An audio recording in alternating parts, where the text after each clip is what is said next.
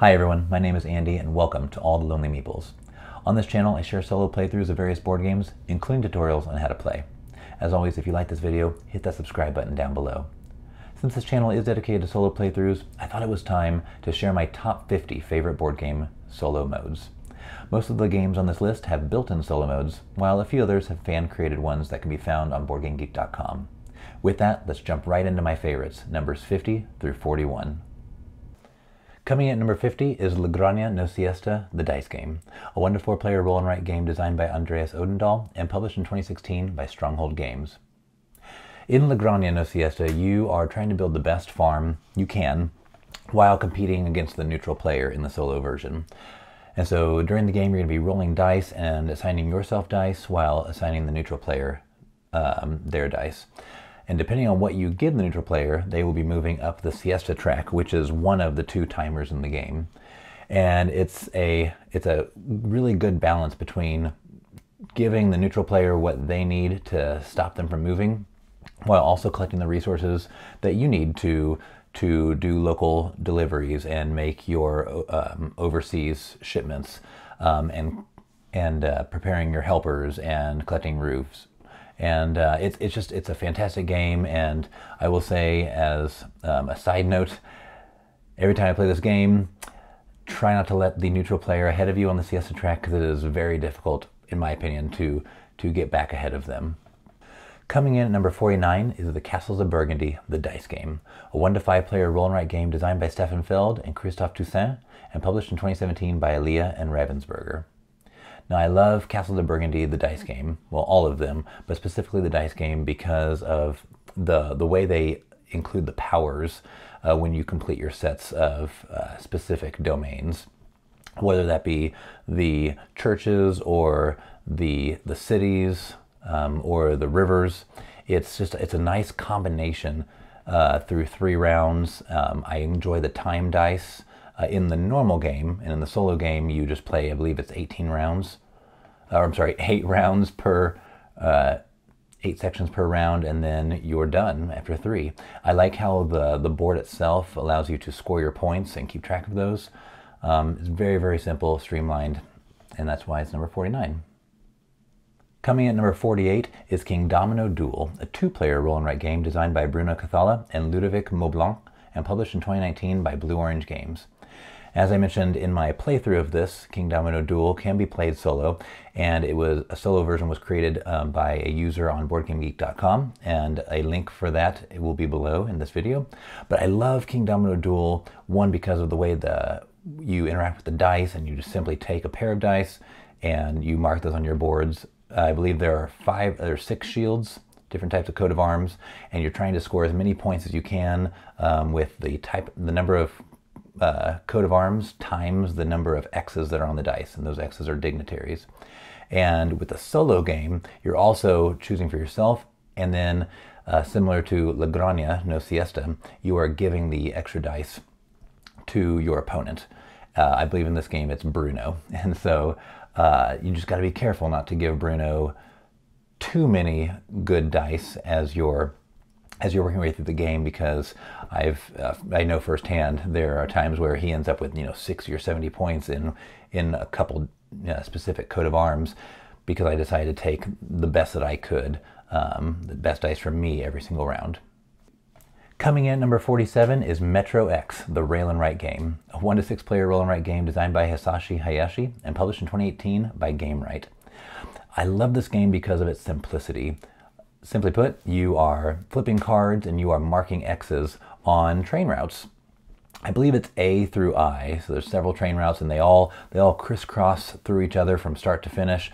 And the brilliant part of this game is that as you're as you're crossing off X's, you are not allowed to skip over X's um, that might have uh, crossed each other in different paths, unless you have one of those skip cards that allows you to do that. And so you're constantly trying to figure out how to best um, place your X's on the train routes and to score the most points and complete the most uh, train stops. I believe the train stops are what the circles are, and you're so you're crossing them off. And um, each train car only has two or three uh, spaces where you can put numbers, and it's just it's a it's a good thinking game, and that's why it's number 47. Number 46 is the Whatnot Cabinet, a one to four player set collection and tile placement game designed by Eduardo Baraf, Steve Finn, and Beth Sobel, and published in 2021 by Pencil First Games. So, in the Whatnot Cabinet, uh, you are collecting curiosities and putting them in your cabinet, called a Whatnot cabinet. And by doing so, you're going to be collect or drafting tiles and place them on your board wherever you want. And there are several ways to score. One is uh, either horizontally or vertically. The two two main ways is making all the same object and then all the same color. And then you've got some objectives that you're trying to complete uh, before other players. Now in the solo game, you will be competing against your rival in a very similar fashion, but the rival is going to have uh, their own deck of cards that that manipulates the board uh, and the the drafting row most of the time, making it harder for you to make selections. Coming in at number 45 is Majesty for the Realm, a two to four player tile placement game designed by Marc Andre and published in 2017 by Z Man Games. Now, in Majesty for the Realm, this is an open drafting game where you are taking uh, different types of people and putting them in your kingdom. And in the kingdom, we have a you know you have a brewery, you have a barracks, um, all sorts of things, an infirmary, and these people are going to be be um, stacking underneath each of the places they go. And every time you do that, each place has uh, different ways to score. So perhaps my brewery will give me points for each of my brewers, plus points for if I have other people in other sections of my board.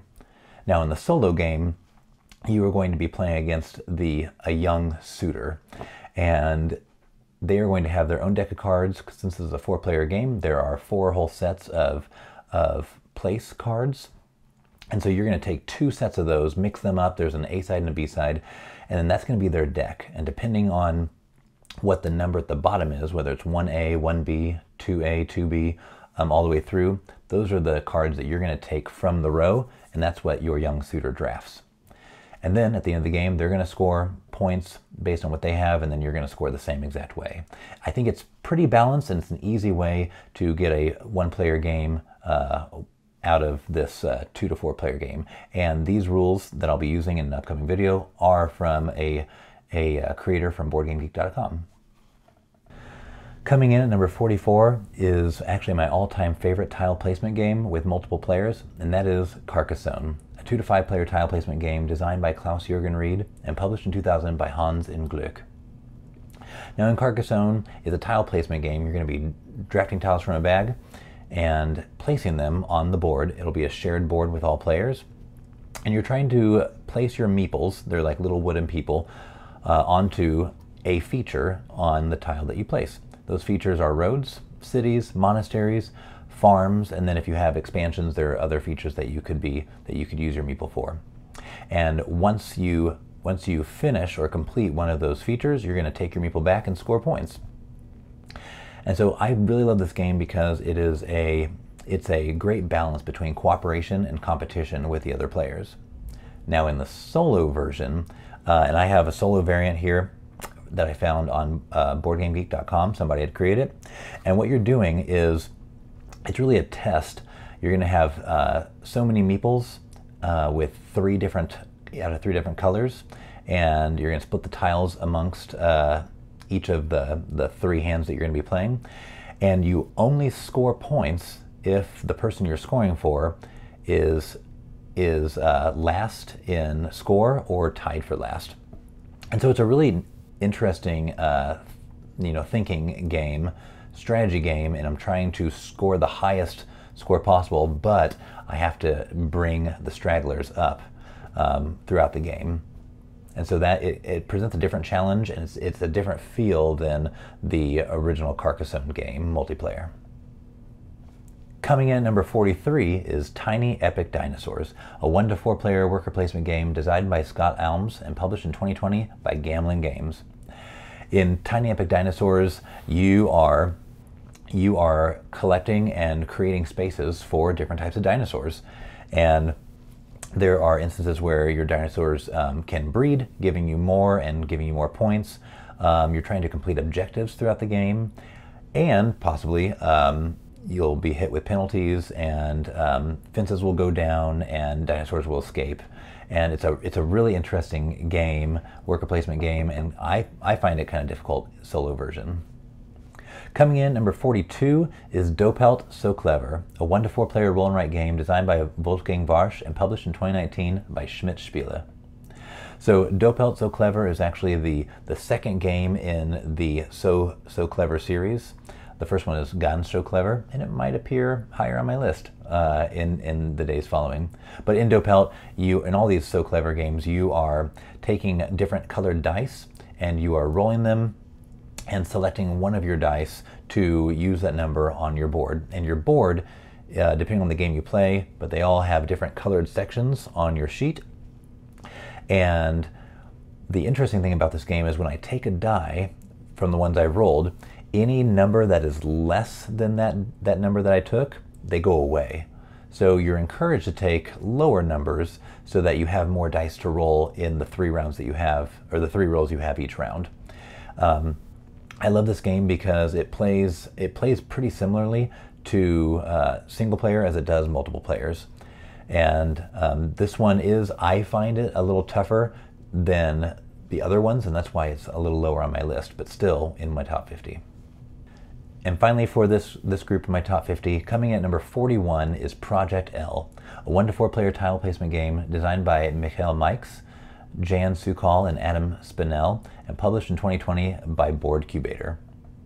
So in Project L, you are placing tiles and these tiles are uh, different shapes and the boards themselves are these these uh, miniature boards with um, specific multi-square shapes that you're trying to fill and once you fill those shapes you score those points and you can grab more the cool thing about this game is that you are you can upgrade your pieces so you have so many different actions that you can take during the game and I can take new pieces, maybe my, my, my one squares or my twos, um, but I can also sp spend action points to, to upgrade my pieces.